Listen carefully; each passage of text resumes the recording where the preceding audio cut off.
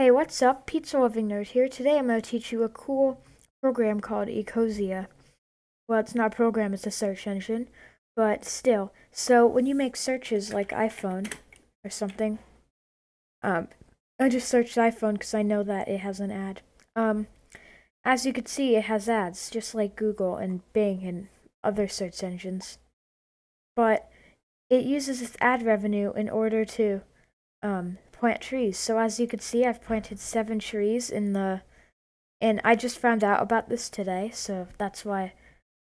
So I thought, oh, I'm a, I need to record this. So I've been using this search engine for about two hours, and I've already planted seven trees. So, what other searches can I do? YouTube.com, well not .com, but oh, this one doesn't have an ad, but.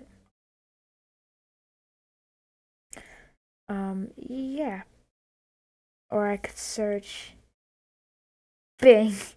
I'm searching Bing using oh um I don't know. Maybe New York. Yeah, as you can see I'm getting ads for New York. So, yeah. Um this is and it plants trees every 1.7 seconds. So, yeah, this is a pretty cool app. Um, it's available for Firefox, and I might support Chrome, but I'm not sure. Um, let me check. Um, does it?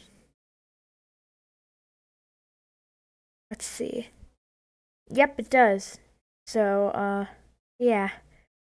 What browsers does it support? Just wondering. I know it supports Firefox and Chrome and Safari, Vivaldi, and Microsoft Edge. Let's see if it works on Opera. Opera.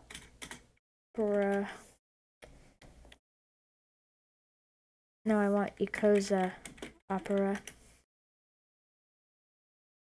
Here it is. Yep, it's on Opera too. Yeah, it's on pretty much every major major browser, I guess. So as you can see, I have it set as my default search engine too. So yeah, it's a really cool search engine. If you're looking for a good search engine, I recommend this one. Oh yeah, and also if you think that this is a scam, oh yeah, it's powered by Bing, by the way. That's the one problem with it, it's powered by Bing, but whatever. If you go to the homepage and click on learn more, then scroll all the way down, you can see their financial reports. So as you can see, this is not a scam. It shows how much money it's spent on trees, how much money it's put in reserve, and how much it costs to operate, and how much it costs to advertise it.